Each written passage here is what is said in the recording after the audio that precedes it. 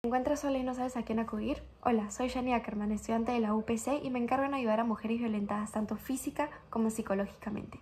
Brindo seguridad y confianza para que me puedan contar todos los problemas que hoy en día viven en hogares, trabajos incluso centros de estudio. Por medio de charlas de ayuda, muchas mujeres podrán salir adelante y no tendrán miedo de hablar. Si conoces alguna de ellas, no dudes en contactarme para poder asesorarte.